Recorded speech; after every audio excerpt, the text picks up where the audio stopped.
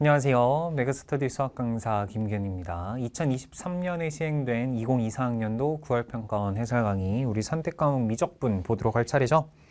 앞에 있는 문제들은 절대로 막힘없이 쭉 풀어내셔야 될 것 같고요. 우리 4점짜리 전문항 28, 29, 30 세 문제 보도록 합시다. 28번 보자.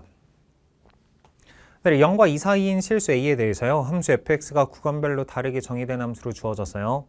함수 gx는 절대값 안에 정적분으로 정의된 함수가 주어졌고 실수 전체 집합에서 미분 가능할 때 a의 최소값을 한번 계산해봐 라고 얘기를 했죠.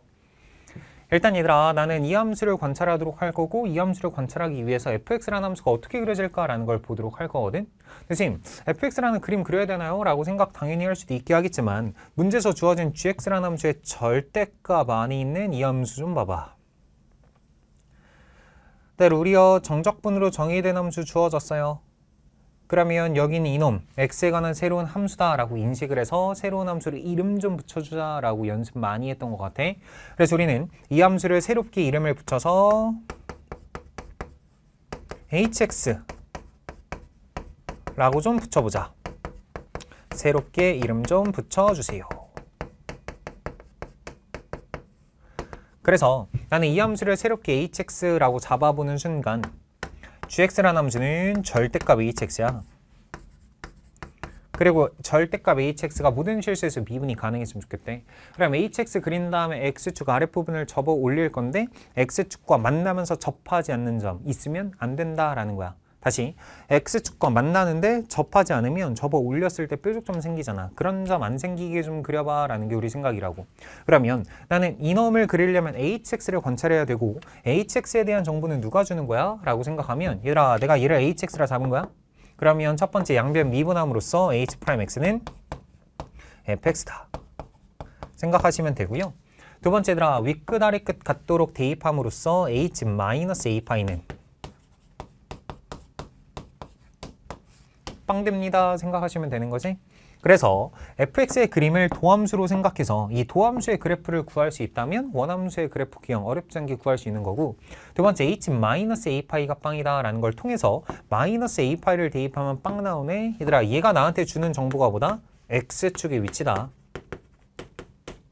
이런 연습 많이 한 거 너가 x축의 위치를 결정하니까 과연 a값이 어떻게 돼야 될까라는 걸 판단해보자는 거죠 알았죠? 그럼 얘들아 h'x를 구하고자 fx 좀 그려볼게. 그래서 fx 이 그림을 그려보도록 할 거야. 첫 번째, x가 양수일 때는 이 그림 그리고 x가 0 이상일 때는 이 그림 그려달래요. 그러면 x가 음수일 때, 그러니까 x가 음수일 때 이 그림, 양수일 때 이 그림, 음수일 때 이 그림 그릴 건데 이 사인 x의 절대값을 씌워봐 라고 준 거야. 그럼 일단 첫 번째 동그라미 1번 우리 얘들아 이 정도 알고 있다. x축 기준으로 해서 내가 사인 n x 그래프 하나 그려볼 거야. 그래서 이 그림이 만약에 y는 사인 n x다. 라고 주어진다면 봉우리 한 개 넓이 이 정도 암기하고 있지? 그리고 우리 이 봉우리 한 개 넓이 얼마짜리야? 라고 생각하면 이짜리야 라고 얘기할 수 있다. 실제로 적분하시면 돼. 근데 꽤나 자주 나오다 보니까 우리는 조금 암기하고 써먹자라는 게 우리 생각이었고요. 두 번째라, 나 이놈을 기준으로 해서 무슨 그림을 그려볼 거냐면 y는 이 사인 4x 이 그림 그려볼 거야. 이 사인 4x 이 그림 그려보시면 얘 또한 봉우리 하나를 먼저 관찰하도록 할 건데 x의 주 기준으로 해서 조금만 위에 그리자. x축 기준으로 봉우리 하나만 살짝 그릴 건데요. 일단 이놈의 주기가 얼마짜리야? 라고 생각하면 원래 이놈의 주기는 절대값 비분이 2파이 하니까 2파이였잖아. 한 주기가 2파이니까 봉우리 하나의 간격은 파이 된 거다. 그런데 이놈의 주기는 절대값 비분이 2파이 하면 4분의 2파이니까 2분의 파이야. 그러면 봉우리 하나만 그려보면 4분의 파이가 되겠지.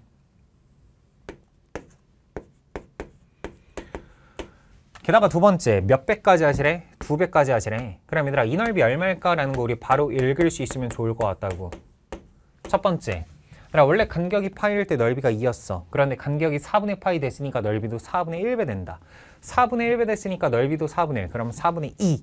그러면 거기에 2배 하시라며. 그럼 4분의 4. 그래서 넓이는 1짜리가 된다. 그래서 이 넓이는 1이구나 라는 거 우리 어렵지 않게 이해할 수 있으면 좋을 것 같아.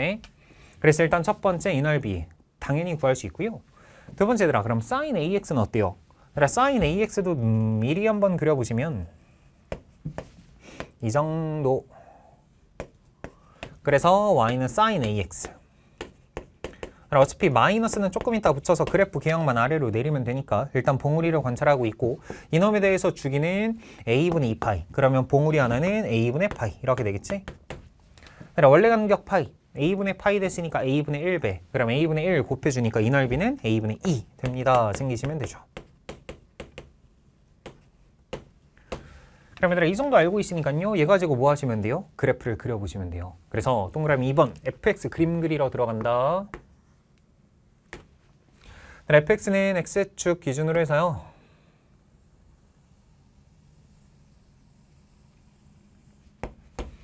뭐 여기를 y축 정도로 한 번만 잡아볼까요?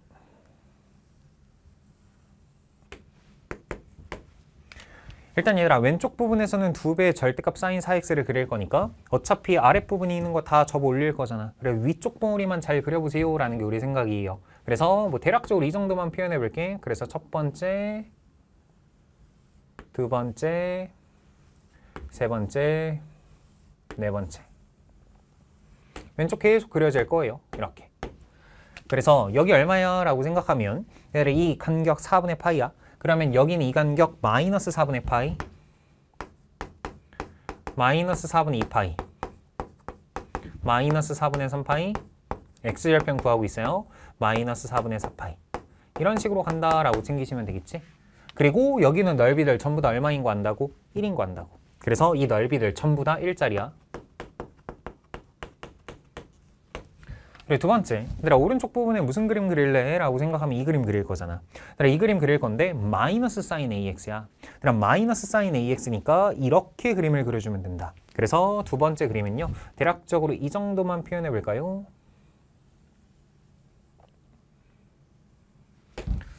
그래서 여기가 0일 때 원점, 여기는 지금 A분의 파이어.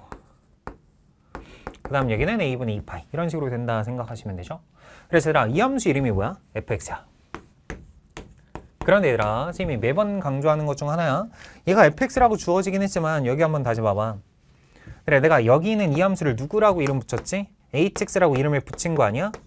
hx라고 이름을 붙였다는 건 hx가 주인공이라는 거야. 그래, hx가 주인공이니까 더 이상 너를 fx라고 읽지 않고 h'x라고 읽을 겁니다. 다시 문제에서는 fx라고 주기는 했지만 나는 더 이상 너 fx라고 읽지 않고요 h'x라고 읽을 거예요. 네, 이렇게 식을 내 눈에 잘 보이게 쓰는 것 자체가 너무나도 중요한 이유 중 하나가 뭐냐면 네, 이렇게 주어지면 야, 뭘 해야 되지? 라는 생각이 잠깐 들 수 있지만 H'X라고 딱 쓰는 순간 도함수잖아. 네, 그러니까 도함수 주어졌으니까 그 아래쪽에 원함수 그리는 거 어렵지 않잖아. 그래서 원함수를 그려야겠다라는 생각이 훨씬 더 잘 들 수 있다고. 게다가 이 넓이는 아까 우리가 구했듯이 넓이 자체가 A분의 2라는 거 알고 있다.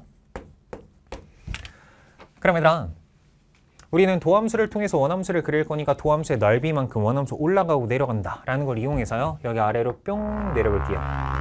얘도 다 내려봅시다. X축과 만나는 점들 일단 다 내려볼 거고 여기까지 내려본다 라고 생각해보자. 그러면 일단 첫 번째 우리 애들아 그래프 기형이 정확하게 어디서부터 출발하는지 X축이 아직 어디 있는지는 모르겠지만 증가하잖아. 얼마만큼? 1만큼. 그러면 여기부터 여기까지 증가할 거야. 그래서 예를 들어서 뭐 2만큼 증가한다라고 생각하자. 그래서 증가한 이 간격이 얼마짜리야? 1짜리야. 한 번 더 또다시 넓이가 1짜리니까 이렇게. 또다시 넓이가 1짜리니까 이렇게. 또다시 넓이가 1짜리니까 이렇게 된다라고 생각하시면 된다고. 게다가 여기는 이 부분에서는 이제 a분의 2만큼 뭐 할 거지? 떨어질 거지. 그래서 여기서는 감소하겠다라고 생각을 할 겁니다. 감소 쭉 하겠지. 얼마만큼? A분의 2만큼. 그때 감소했다가 올라갔다가 다시 감소했다가 올라갔다가 이제 계속 A분의 2, e, A분의 2, e, A분의 2, e, A분의 2 그러면 이렇게 계속 왔다 갔다 하겠지. 그래서 여기는 빨간색 그래프 자체 이름이 뭐야? hx야. 생각해봐. 이놈에 대해서 이제 누가 필요하냐면 x축의 위치가 필요해. 근데 네, X축의 위치가 필요한데 X축의 위치는 누가 결정해? 라는 걸 아까 다시 한번 보시면 얘가 결정한단 말이야. h a 파이가 빵이 되셔야 돼요. 그럼 혹시 a, a가 얼마가 돼야 될까라는 걸 고민할 건데 첫 번째 이 생각해봐. 여기가 지금 1.0, 여기가 0이고 여가 마이너스 4분의 파인데 그럼 만약에 a가 마이너스 4분의 1 같은 거라면 아니 a가 4분의 1 같은 거라면 a가 만약에 4분의 1이면 여기 여기가 지금 마이너스 a파이가 되니까 여기가 딱 x축이다 라는 거야 그러면 여기가 x축이 되면 일단 오른쪽 고민하지 않고 여기가 x축이 된다면 이렇게 x축이 그려질 건데 지금 여기에서의 미분 기수는 빵이잖아 그럼 접어 올리면 충분히 당연히 미분 가능할 수 있는 거지 게다가 두 번째 x축이 여기 있어도 괜찮죠? 그러니까 X축이 여기 있어도 만나면서 접하고 있다 보니까 접어 올리면 충분히 미분 가능하다고요. 세 번째 X축은 당연히 여기 있어도 괜찮고요. 그런데라 선생님 이렇게 표시하는 점들이 아닌 예를 들어 이런 점에 X축이 있다 생각해봐. x 축 이렇게 있으면 접어 올렸을 때 오른쪽 고민하지도 않았는데 여기서 이미 만나면서 접하지 않아. 접어 올리면 무조건 뾰족점 생긴다고. 그러니까 A 값으로 가능한 건 일단 4분의 1, 4분의 2, 4분의 3, 4분의 4. 문제 제의는 0과 2 사이다 했으니까 4분의 7까지 간다 생각하시면 될 것 같아. 그래서 A 값으로 가능한 첫 번째 후보를 확인하시면 4분의 1부터 오른쪽 자리에 쓸게 그냥 여기 자리에 A 값으로 가능한 후보를 몇 개 써보면 첫 번째 A 자리에 가능한 거 4분의 1 가능해요. 4분의 2 가능하고요. 4분의 3, 4분의 4. 이보다 작은 값이라고 했으니까 이런 값들이 가능하다라는 걸 챙기시면 된다. 근데 문제에서 이제 구하라고 하는 게 뭐냐면 얘들아 실수 전체 집합에서 미분 가능하도록 하는 A의 최소 가장 작은 걸 구해봐 라고 준 거야. 그럼 얘들아 A가 이렇게 되면요. 음수 범위에서 절대값을 씌웠을 때 무조건 미분 가능한 건 확실해. 그런데 이제 문제가 뭐야? 오른쪽 부분이 문제야. 그러니까 오른쪽 부분이 문제인데 예를 들어서 그림이 이렇게 그려진다 생각해봐. 그러니까 만약에 x축이 이렇게 있다라고 생각해주면 이거 가능한가? 라는 걸 직접 확인해보자고. 생각해봐. 이렇게 그려진다라는 건 a가 4분의 1이라는 거거든. a가 4분의 1이면 그때 a분의 2의 의미는 뭐지? a분의 2 얼만지 한번 구해놓자. A분의 2는요. 이때 A분의 2는 A 자리에 4분의 1을 대입해도 괜찮고 역수 씌워서 두배를 하는 거니까 8. 야, 봐봐. A분의 2가 8이다라는 건 도함수의 넓이만큼 원함수는 올라가고 내려갈 건데 도함수가 X축 R이 있으니까 감소할 거야. 얼마만큼? 넓이만큼. 그럼 A가 4분의 1이면 넓이가 8이니까 8만큼 떨어질 거라고. 근데 문제가 뭐야? 아까 이 간격 자리가 전부 다 얼마였죠? 1 아니었나요? 그러면 이 간격이 지금 1이니까 만약에 넓이가 8이면 너무나도 많이 내려와. 따라 그러니까 너무나도 많이 내려오면 훅 내려오니까 x축과 만나면서 접하지 않는 점이 생기지. 그럼 무조건 미분은 불가능할 수밖에 없다라고 이해하시면 돼. 괜찮아? 그러니까 a분의 2가 8이면 안 되구나. 다시 a가 4분의 1이면 안 되구나라는 걸 첫 번째 챙긴다. 그럼 두 번째, 그럼 만약에 a가 4분의 2면 a가 4분의 2면 여기 있는 이 값은 2분의 4에다가 2 곱하니까 4. 미리 구해놓을까? 여기는 3분의 4 2 곱하니까 3분의 8. 여기는 1, 대입하시면 2. 이런 값들이다 라는 걸 챙기면 돼. 그래, 두 번째 봐봐. 만약에 A가 4분의 2면 그래, A가 4분의 2면 X축 어디 있다는 거야? 여기 있다는 거야. 그럼 X축이 여기 있으니까 그림이 이렇게 그려질 건데 이렇게 그려지면 여기부터 여기까지요. 1, 1이니까 전체 간격 2짜리다. 그래 전체 간격 2짜리인데 내려오는 길이가 얼마야? 4. 근데 이 간격인데 4만큼 떨어지면 마찬가지로 만나면서 접하지 않는 점 생기니까 안 된다고요. 그래서 너도 안 되는구나 라는 걸 이해하시면 돼. 그런데 세 번째 봐봐. 그래, 세 번째, 만약에 A가 4분의 3이면 A분의 2, 넓이는 3분의 8이거든? 근데 X축이 여기 있다라고 생각해주면 땡큐인 게 뭐냐면